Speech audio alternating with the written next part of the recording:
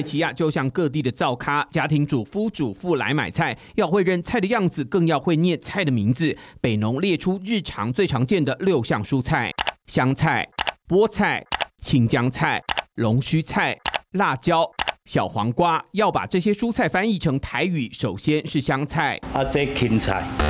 嗯，对啦，芹菜怎么会是香菜？再来听听龙须菜。啊，这龙须菜嘛。逐字直接翻译其实也不对，再请年轻人试试看。应该不是。香菜、菜。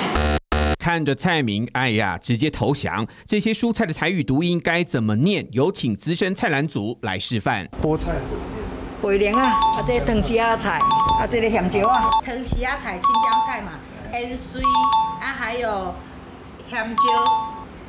啊啊！这些无论红的、绿的、脆的、辣的，或者有嚼劲的，餐桌上常见的六样蔬菜，如果要变成台语读音，可能不是人人都能满分全对。大家讲桂啊年、桂莲啊、藤丝啊菜、盐水、香桂啊秋，这个花语的词吼，直接改念做台语，可能会较。唯独辣椒台语念法大不同。